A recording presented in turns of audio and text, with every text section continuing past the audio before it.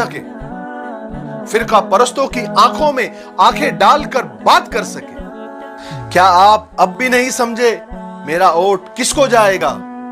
एक ही तो जमात है, एक ही तो पार्टी है, जो हर मजलूम की, हर सताए हुए की आवाज़ है। बिला तफरीक मज़हब मिल्लत, जो हर मजलूम के लिए आवाज़ उठा रही है, वो जमात है ऑल इंडिया मजलिस इत्तेहादुल मुस्लिमीन। इस बार मेरा वोट उसको जाएगा।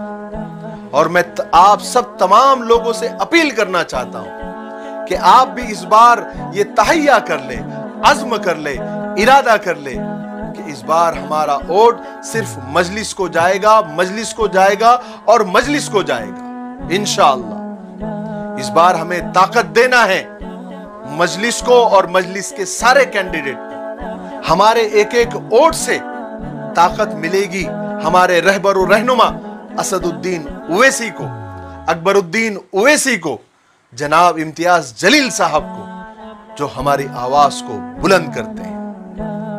तमाशाई पार्टियों को और बिके हुए लोगों को और दलालों को इस बार साइड को करो। इस बार किसी के बहकावे में नहीं आना है। किसी के डराने या धमकाने की परवाह नहीं करनी है। मुत्तहिद होकर मजलिस को मज़बूत कीजिए, मजलिस के कैंडिडेट को वोट दीजिए। इंशाअल्लाह कल हमारा होगा।